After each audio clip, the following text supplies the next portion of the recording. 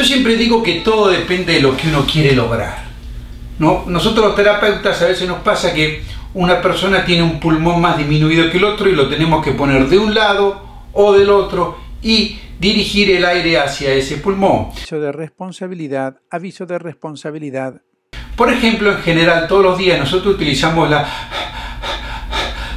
respiración superior. Después tenemos la media y después la inferior o diafragmática. Y yo puedo em-, empezar con la diafragmática, subir a la media y trabajar la superior, o sea que puedo agregar los tres tipos. Yo puedo inflar el diafragma y después subir. Ahí lleno todos los pulmones y largo.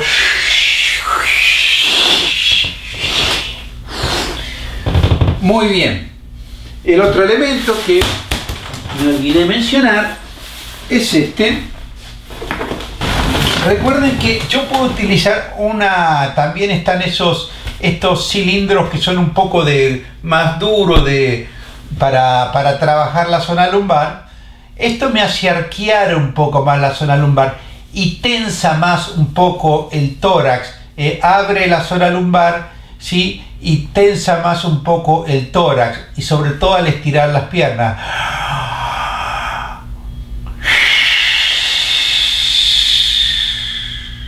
En general, yo utilizo mucho, en general yo utilizo mucho este con este. Ya que estamos, lo voy a mostrar. Esto a veces yo, como necesito trabajar mi zona lumbar, utilizo los dos, ahora los voy a mostrar, necesito eh, estirar un poco, crear mi lordosis. ¿no? Yo, yo pongo los dos y me recuesto y a veces estoy 15, 20 minutos, media hora en esta posición para que mis huesos tomen la forma lumbar, la lordosis, porque en mi caso yo no tengo. Si usted tiene mucha lordosis, tal vez esto no le convendría, pero sí le convendría tener lo suficiente como para que le dé apoyo.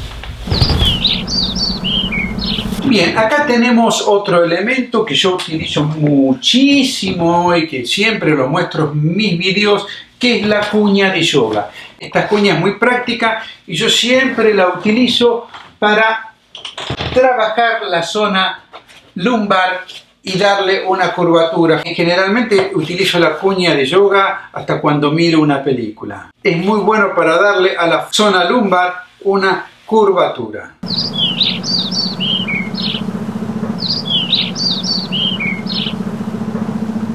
Cuando empecé a hacer estos ejercicios, realmente me costaba mucho mantener la posición. Ahora ya realmente mi columna se ha adaptado a la, a la, a la cuña de yoga y a todos estos elementos. El cuerpo se acostumbra.